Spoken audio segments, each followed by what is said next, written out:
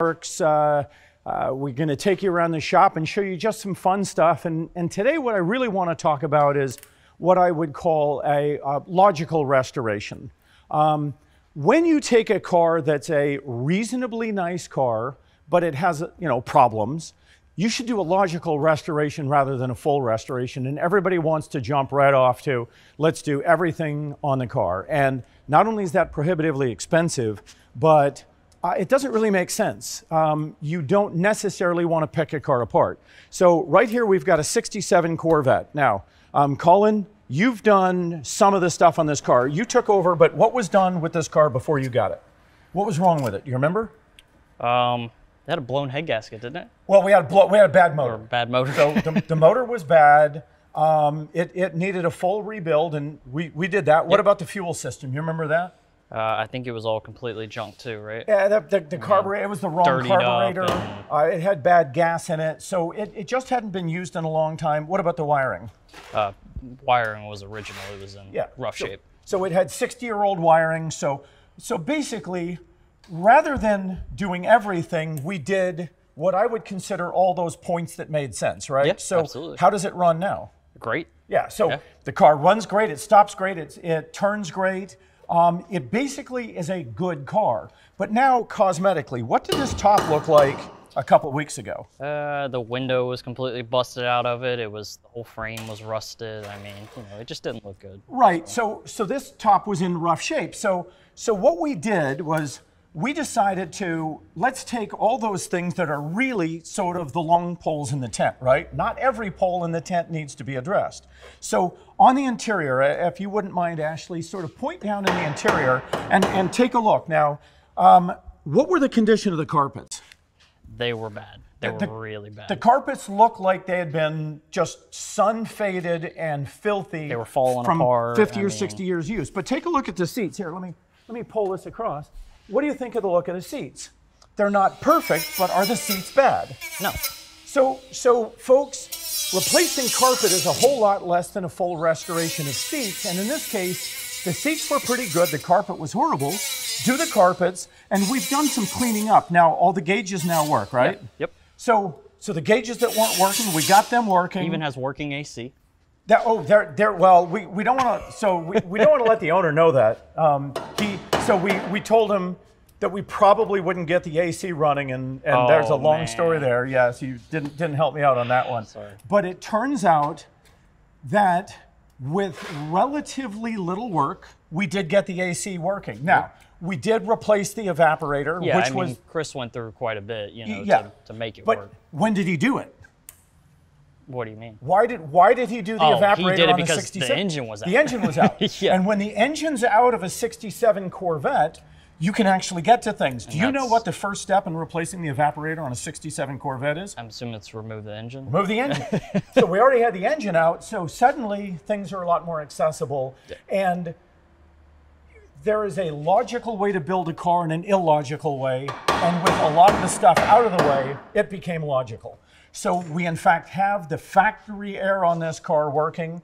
Um, well, I, let me tell you a quick story. When we started with this car, and, and Ashley, take a look down here, and we've been doing some work, but you notice this car's got measles everywhere.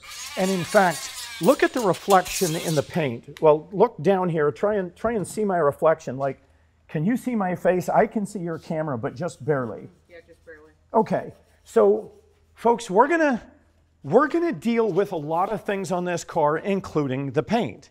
Like like I'll just show you something that to me stands out. Take a look at this rear bumper. Can you see how rough the rear bumper looks?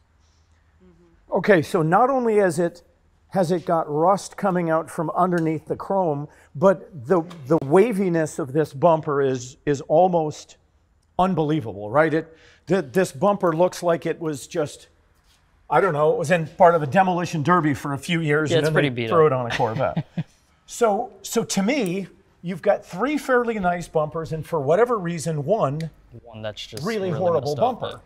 And and so here's the problem. You don't want to go, go put one like number 10 Really bumper on nice, yeah. it because then the other three will look bad. So what I'm going to try and do is find him one bumper, all these yellow pieces of tape. Represent marks in the paint that we're going to deal with. You can see how dull the paint is. We're going to polish it. The interior, when we get done cleaning the seats and replacing the carpets and stuff, what do you what what number would you assign the interior cosmetically? Do you what's your vision? I'd say probably eight and a half. I, I'd give it eight. Right, exactly. I, I would agree with that. That's a that's a good number. And folks, an eight and a half is a very attractive car. Yeah. So, so instead of spending two hundred thousand dollars to do a frame off yeah. on this car, we're going to spend about a quarter of that. And yet, if you compare this car when we're done to a two hundred thousand dollar build, what do you think? I mean, it won't look quite as nice. But it's not going to be crazy far off. I from, mean, it's, from 50 feet, do you think you'll tell the difference? no, I don't. From 30 feet, mm, Maybe a little. Maybe.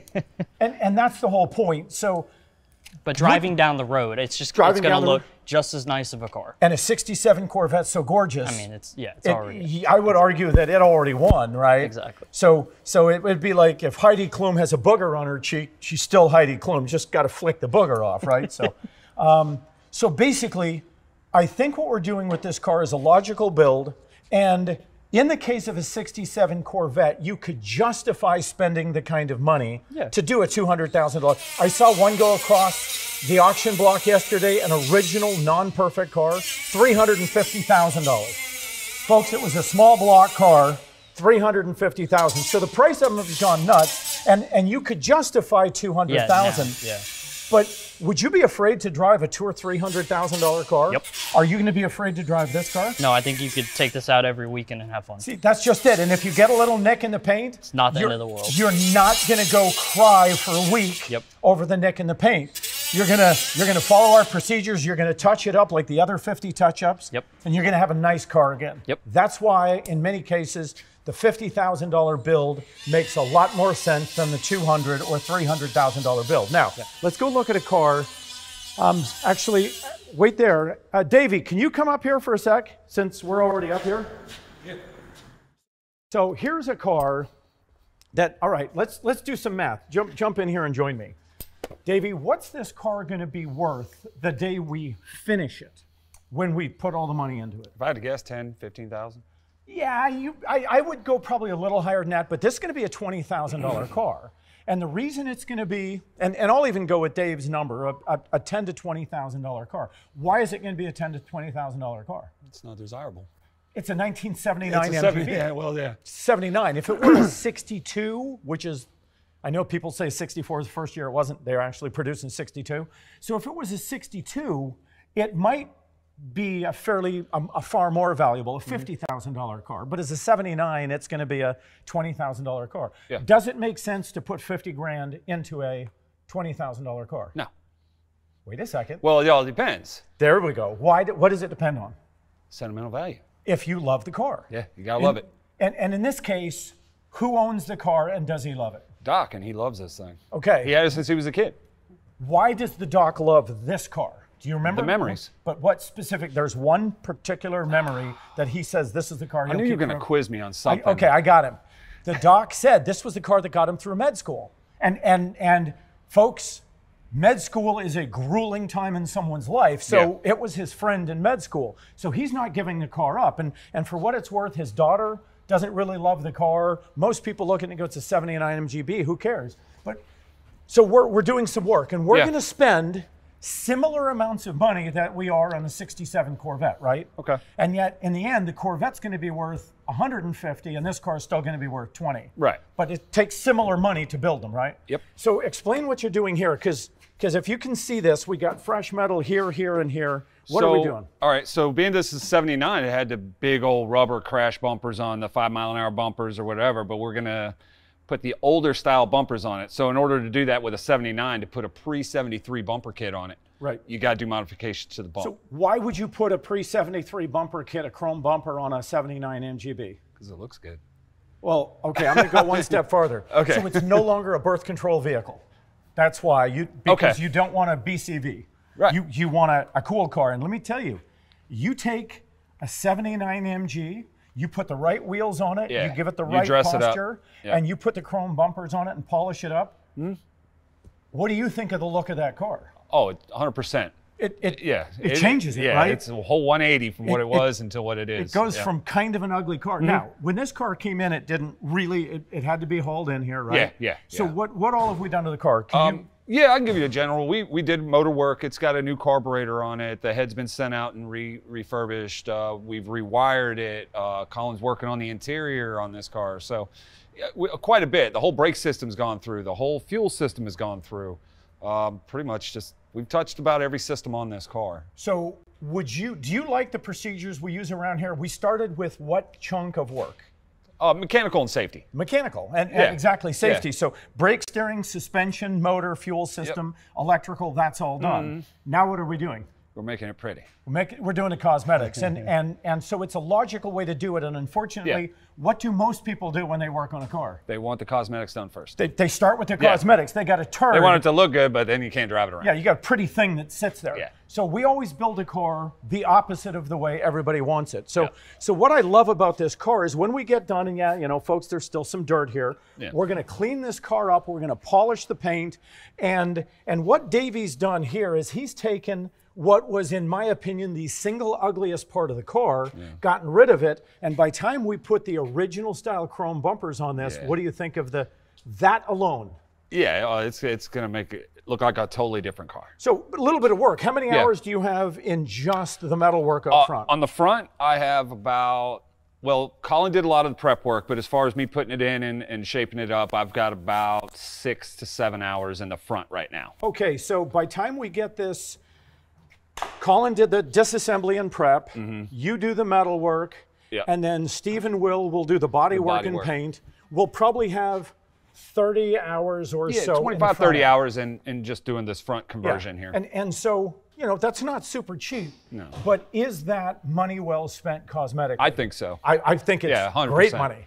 Yeah, Uh, you know, from, from the doc's perspective, Yeah. it's probably a third of a set of braces, and for that, he's going to get a front of a, car really nice that, car, that yes. looks amazing. And what about the new grill going in it? oh, Isn't that sexy? yeah, yeah, it's Okay, very folks, nice. it's just sexy. Let's It's walk around nice. the back Yeah. and take a look at um, the rest of the story. Yep.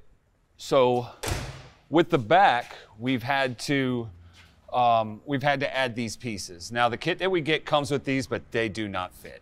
Nothing ever fits. Yeah. So we've had to work it, you know, work the pieces, fit the tail light, make sure it matches with the bumper, get it welded in, get it shaped up to get it ready for the. Let me explain why. Because originally, see, in 1962 through 1973, this little piece was formed here. It comes down off the tail light, it forms to the bumper, it looks beautiful.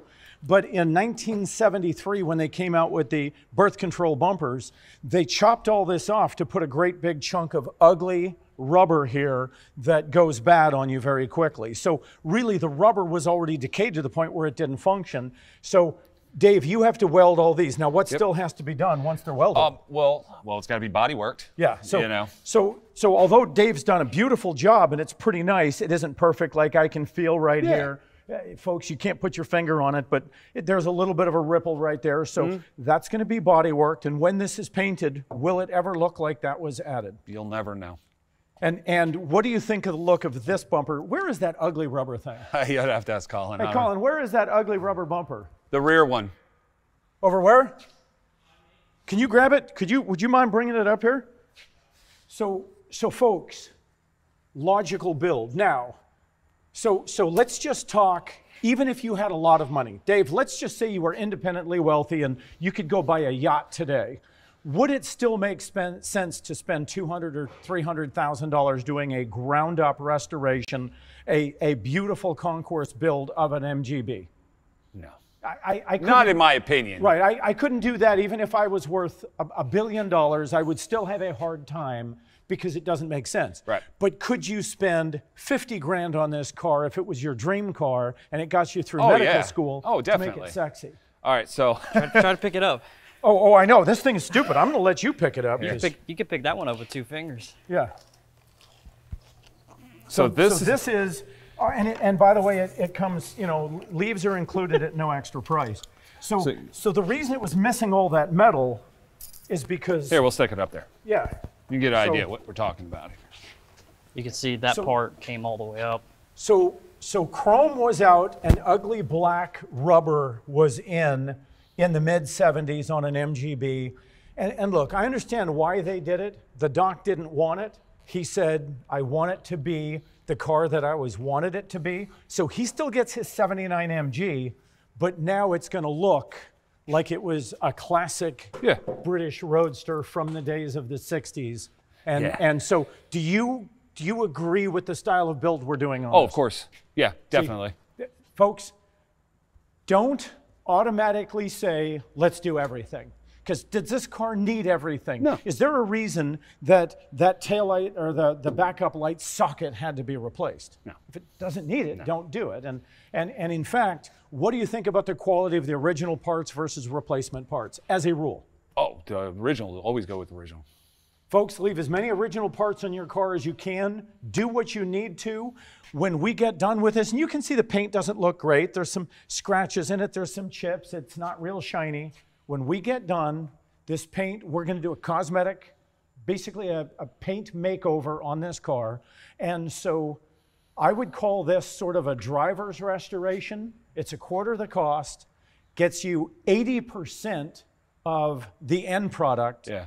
in, in a quarter of the time. So to me, it goes from being silly to being logical. Yeah. So that's it, folks. Um, stay with us. Please remember to do those things like like, subscribe, and, and, and share these videos. Um, there is a logical way to do a build, and we're moving more to logical um, in this day. The economic times are a little bit, little bit off, and so we're, we're trying to work with people that make sense in the economy that we're facing in such an uncertain world. So thanks, folks, and we'll see you next Friday.